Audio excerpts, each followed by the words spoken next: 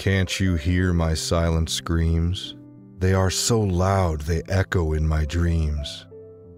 Behind this face that carries a smile lies a dark road that goes on mile after mile. My silent screams have been going on for years, but it always falls on so many deaf ears. How can they hear these silent screams in my mind? They can't hear my thoughts if I keep telling them I'm fine. What can I tell them? These silent screams carry no words. It's just feelings of sadness and darkness that come in its herds. How can I explain so people understand this? It's like walking around in a suffocating black mist. It's holding on to happiness like holding water in your hands. It just trickles between your fingers and disappears into the sands.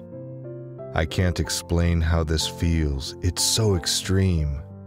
So I hold my mouth shut to cover my silent screams.